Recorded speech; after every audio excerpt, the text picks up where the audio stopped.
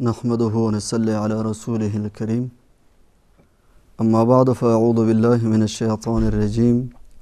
بسم الله الرحمن الرحيم.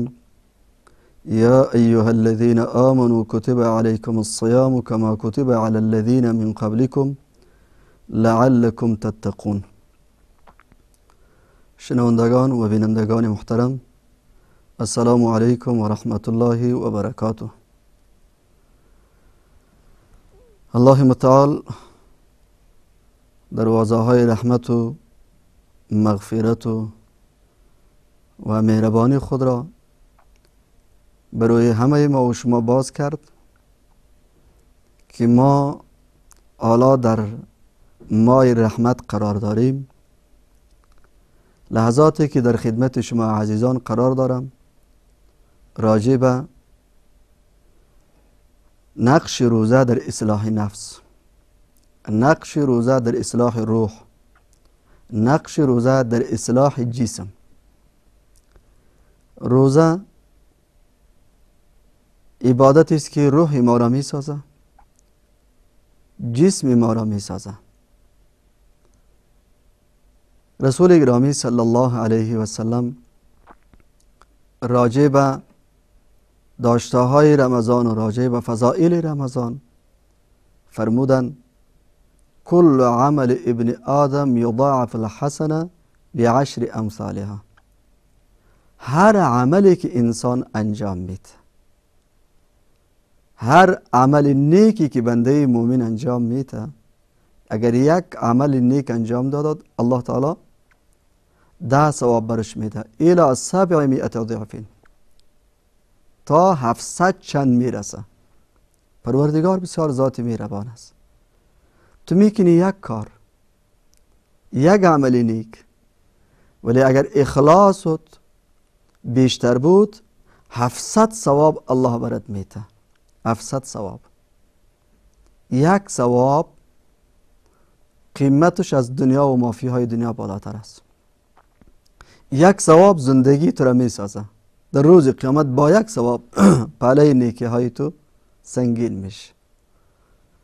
قال الله تعالی الا الصوم. نبی علیه الصلاة والسلام فرمودن که الله متعال فرموده که روزه از این قانون مستثنا هست. دیگر عبادات و بندگی کارهای نیک که شما انجام میتین از ده ثواب گرفته تا هفتصد ثواب براتان الله نصیب می‌کنه. اما روزه از این قانون مستثنا هست.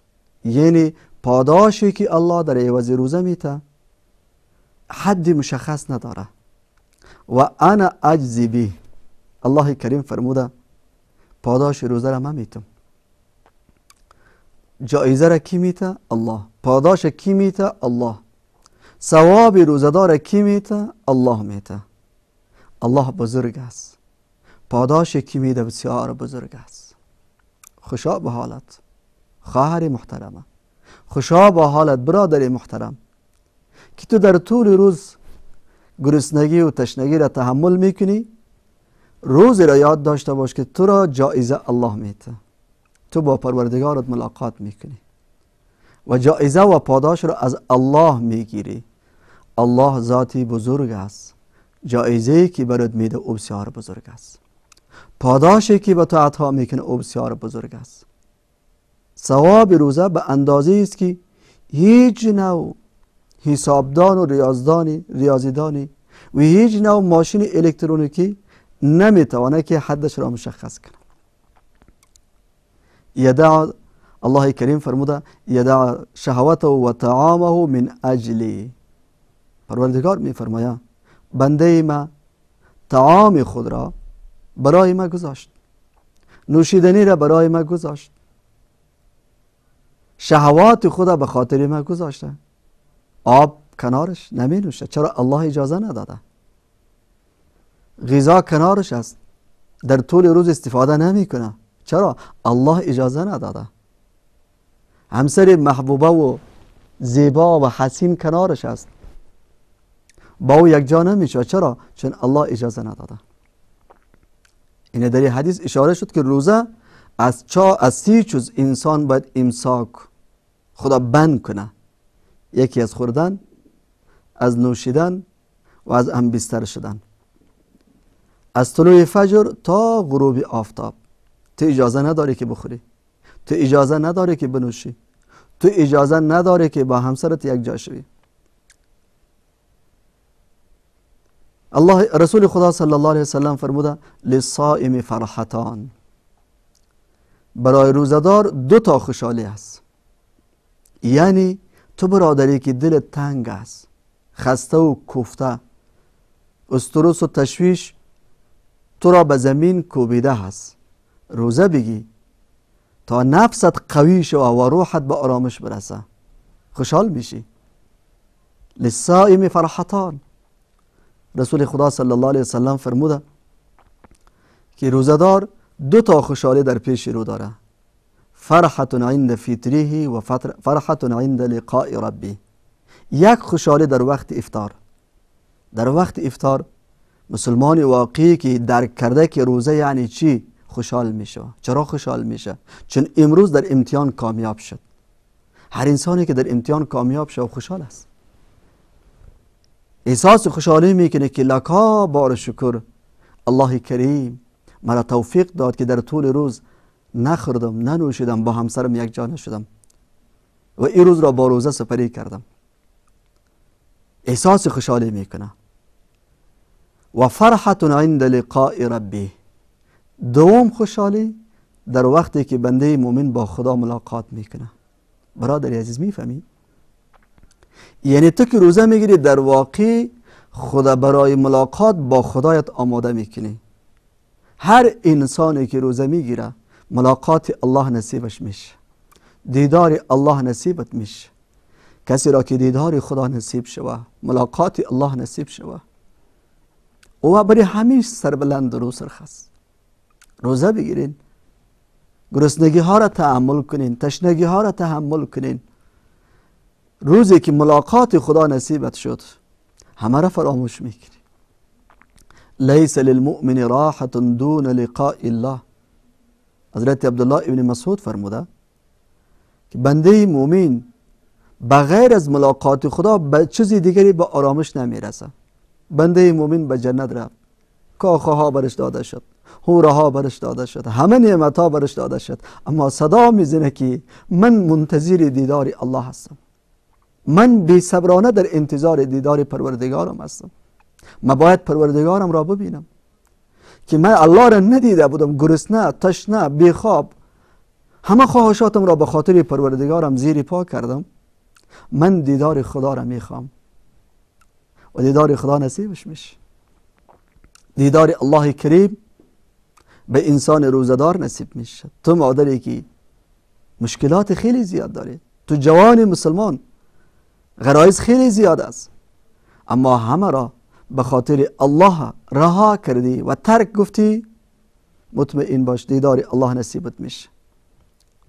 و در وقت افطار متوجه باش که دروازه باز است دروازه قبولیت دعا باز است. در وقت افطار دعای بیشتر کنین. برای چند لحظه توجهت را از سفره پر از غذا بردار. از نان گرم از غذاهای متنوع که الله برای همگان نصیب کنه برای همه خواهرها و برادرای مسلمان ما الله نصیب کنه. خداوند دسترخانه ها و سفره هایتان را پر بسازه.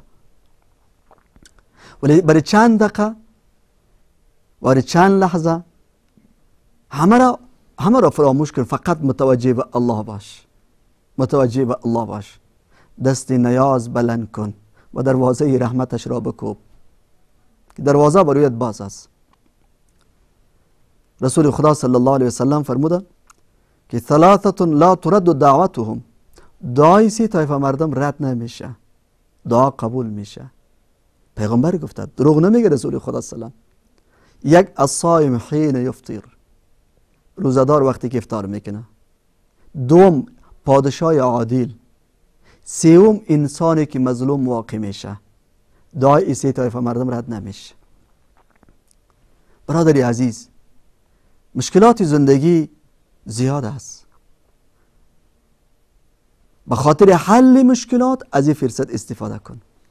و یقین داشته باش که گریه مشکلت باز میشه. یقین داشته باش. این فشار زندگی که تو را به زمین پچق کرده مشکلات تو را پریشان کرده خداوند این مشکلات را از شانت می برداره. در وقت افطار زیاد دعا کنین برای خودت دعا کن. برای پدر و مادر دعا کن. برای همسایگانت دعا کن. حتی آنهایی که تو را دشمنشان فکر می‌کنی. دشمن فکر می‌کنی. در حقشان دعا کنین دعوت المرء المسلم لاخیه بزار الغیب مستجابة. این دعایت قبول میشه تو در حق برادر مسلمان دعا میکنی؟ فرشته ها بر دعا میکنن. و عند رأسه ملک مؤکل كلما دعا لأخيه بخیر قال ملک المؤکل آمین ولک بمثل. تو دست بلند کردی در وقت افطار. در حق آن برادری که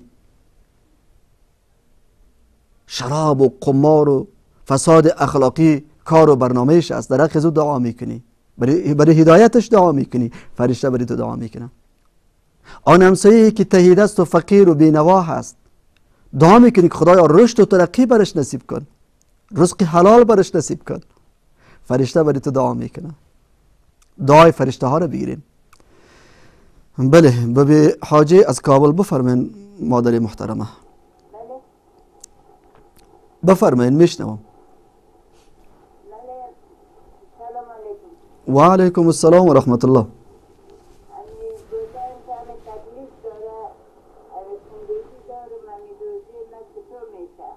خب شما روزه بگیرین سری گرده تان فشار می آیا؟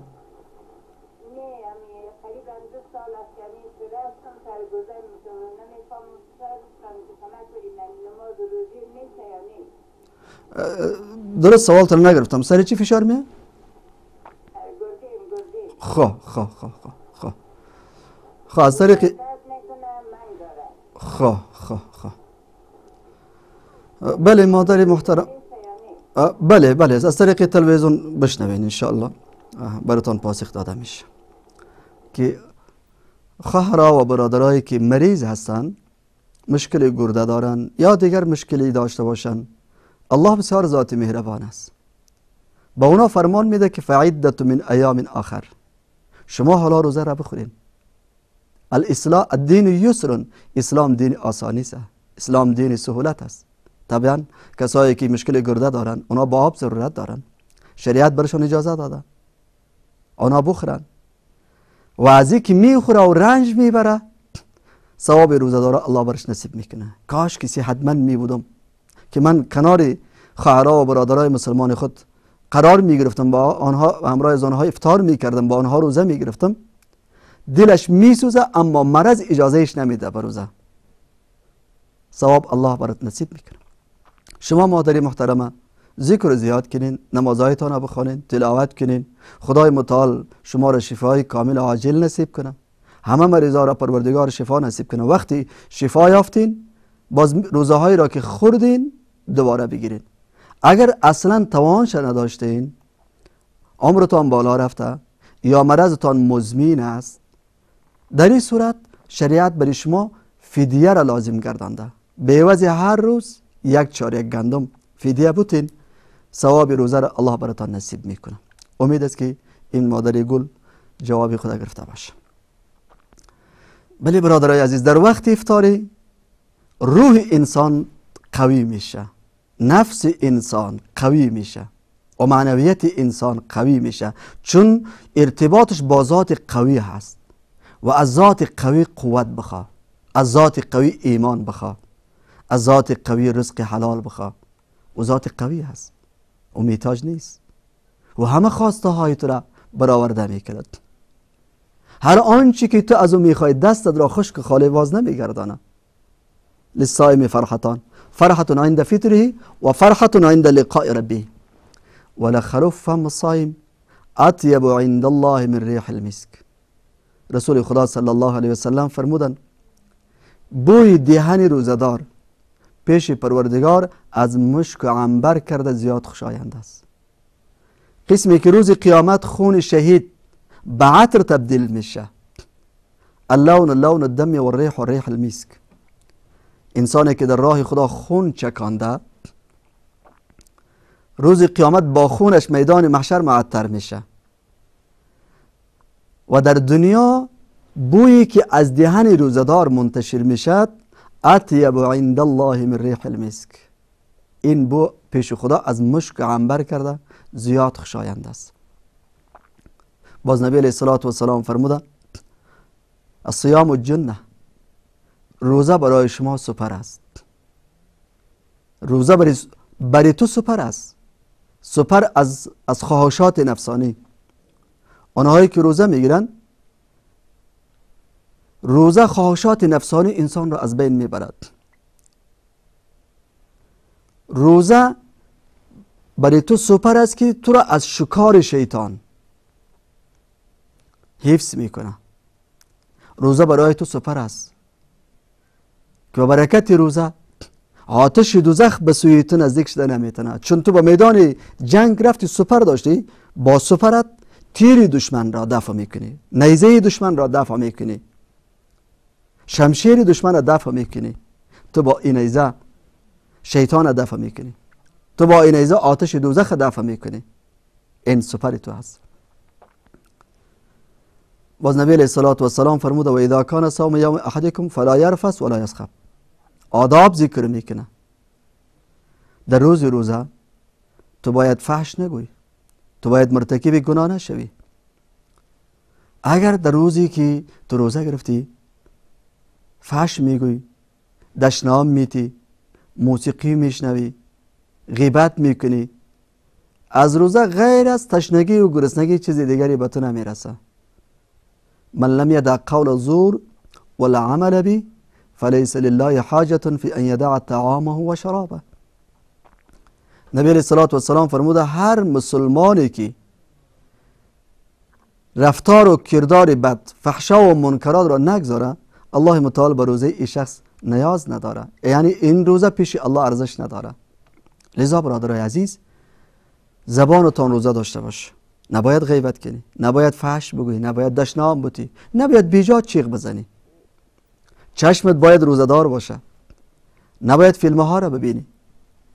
نباید مردان و زنان نامحرم را ببینی. گوش تو باید روزدار باشه. نباید که تو موسیقی بشنوی. نباید فکاهیات بشنوی. با تمام معنا جسم و جانت روزدار باشه. وقتی که آداب روزه را رعایت کردی این روزه تو را متقی می‌سازه. نفسی تو ذلیل میشه. در یک ماه رمضان غیبت نکردی. بعد از رمضان انشالله دیگر تو غیبت نمی‌کنی. باز این زبان زبان غیبت کرنده نیست. در یک ماه رمضان فحش نگفتی دشنام ندادی. مطمئن باش که بعد از رمضان دیگر این زبان با فحش گفتن جاری نمیشه. در یک ماه رمضان چشم روزدار بود. به دنبال چشم چرانی نرفتی. به دنبال دیدن زنای نامحرم نرفتی. ابدلت ایمان یجید و حلاوت فی قلبی ایمان الله برات نصیب می‌کنه که شیرینیش را در قلبت احساس می‌کنی از نمازت لذت می‌بری از, از ذکرت لذت می‌بری از همه کارهای خوبت لذت می‌بری بله داد محمد از ایران. بفرمایید برادری محترم.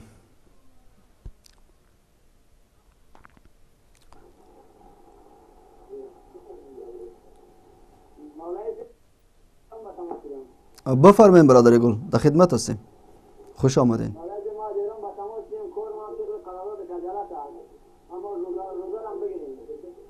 خب.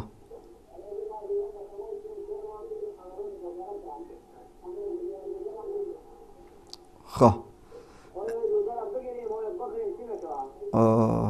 خب برادر سوال دیگری دارین؟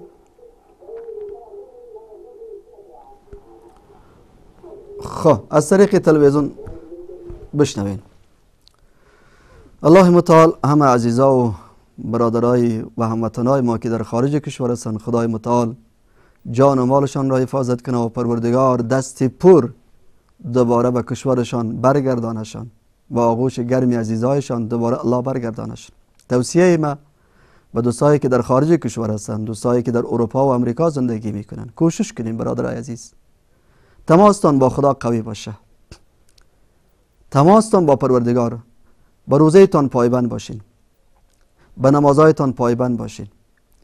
به دینتان پایبند باشین. و ان لو استقاموا على الطریق لاسقیناهم ماء غدقا. گفته پروردگار است. مراد از ما غدق نعمتی بزرگ است. ان الله الله کریم. شما را رزق و حلال به حدی عطا می‌کنه که دیگر غلامی ایرانی ها را نمی‌کنین. دیگر غلامی اروپایی ها را نمی‌کنین. خدای متعال با رزق حلال و با نعمت های فراوان شما را می نوازه لذا هر جایی که هستین ثابت کنین ایمانداریتان را. ثابت کنین وفاداریتان را با خدا. ثابت کنین وفاداریتان را با دینتان. کار کنین زحمت کنین. اما نشوه که بهانه این و آن روزه را بخورین. جوانی از ایران آمد گفت مدتی که در ایران بودم برای یک روز روزه نگرفتیم سبحان الله بسیار جای تأسف است. یک روز روزه نگرفتی برادری عزیز؟ یک روز. ماهای رمضان را یک روز شم روزه نمی‌گیره. پس این بنده خدا بترسد از خشم و غضب خدا. ایاک والمعصیه فان بالمعصیه حل سخط الله عز وجل غضب خدا به دنبال دارد. ترک روزه روزه فرض است. بدون عذر شرعی. روزه را کسی که می‌خوره انسان را در حقش حضرت جبرئیل دعا کرده که رقیم انف رجلین دعا کرده. خدایا پوزی تو انسان را به خاک مزلت بمال. بازی تو انسان ذلیل میشه. خار میشه. شرمنده میشه.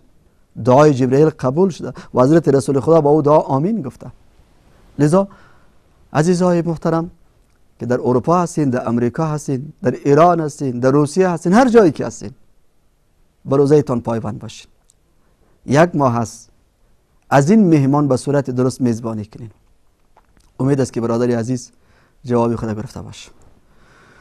خود در ماه رمضان برادری عزیز تو نباید که فحش بگویی. همه اعضایتان روزدار باشه. قلبت باید روزدار باشه در قلبت کینه و کدورت جای ندی در قلبت حسادت ها را جای ندی دستت باید روزدار باشه نشوه که در ماه رمضان مصروف game است پنج تا شش تا جوان جمع چرا روزی خدا کور می‌کنیم از خدا بترس این game چی پیامی را با خود داره این game ها می‌فهمین یعنی یک سیستمی کافر کردن مسلمان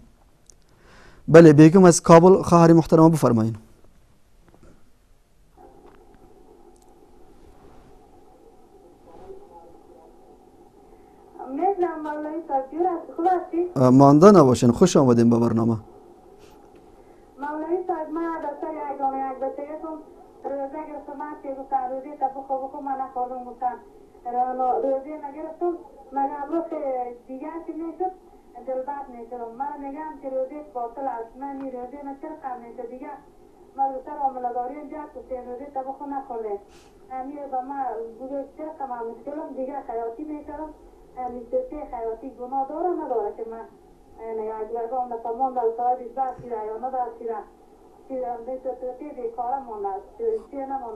میرادم خب خب. یعنی رفتی خدا خدا حافظ خب بله خواهر محترمه رسول خدا صلی الله علیه وسلم فرموده من زرع حلقه فلیس علیه القضاء و من استقا عمدا فلیقضی. مسئله این است که یک انسان روزه داره غیر اختیاری دلش بد میشه استفراغ می‌کنه. روزش پابرجا هست. روزش میده نمیشه. در روزش کدام نقصان پیدا نمیشه. آه کسی که قصدن استفراغ می‌کنه انگشت خدا داخل گلوش می‌کنه و یا با وسیله دیگری استفراغ کرد روزش میده میشه. خب شما پارچه ای را که از با خود نگاه می‌کنین بهتری از خواهر گل که پارچه ها را دوباره برگردانیم اگر مالک او مال مالک کالا پارچه را به شما برگردان خو از شیری مادر کرده به شما حلال است. ورنه شاید خودی از او نیاز داشته باشه. اگر کم باشه که نیاز نداره باز برای شما اجازه است که از او استفاده کنید امید است که خواهرمون جوابی خدا گرفته باشه. بله شنوندگان محترم و بینندگان عزیز. ماه مبارک روح ما را و نفس ما را می سازه. نفس بسیار طاغی است. ما من نفس الا و فیه ما فی الفرعون. برخی از بزرگان فرمودن که هر انسان به حد ظالم است که مثل فرعون. بله نورالدین صاحب از کابل بفرمایید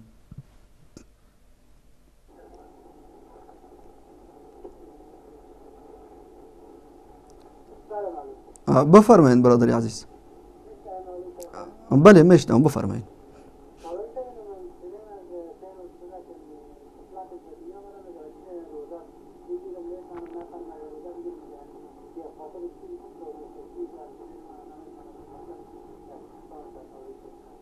خب. بله برادرای عزیز مادرها که آنها کودک شیرخوار دارن اگر روزه بگیرن شیرشان کم میشه. شریعت برای از اجازه داده که روزه خدا بخورن. خواهرایی که آنها حامله, حامله هستن در وقت حاملگی اگر احساس ضعف می‌کند برای از هم اجازه است. یعنی زنایی که کودک شیرخوار دارن آنها می توانند که روزه خدا بخورن. و زنایی که حامله هستند آنها هم می توانند که روزهشان را بخورن و پس آن روزه خدا باز دوباره قضا بیارن. برادرای عزیز ماه رمضان با اصولش با آدابش سپری شوه نفس ما را می سازه لعلکم تتقون خدا گفته. یعنی در یک ماه تو به ولی الله تبدیل میشی. تو به دوست خدا تبدیل میشی. به برکت روزه. خب باز نبی علیه الصلاه و السلام فرموده که فان صاب او احد او قاتل فلیقل انی امرئ صائم. اگر کسی با تو جنگ می‌کنه کسی تو را دشنام میته تو نباید که با او جنگ کنی. تو نباید او را دشنام بودی پس تو در جوابش بگو این امرئ صائم. برادر من روزه دارم. یعنی در ماه رمضان بسیار کوشش کنید که عصبانی نشوید. سری اولادایتان غضب نشوین سری همسرایتان غضب نشوین.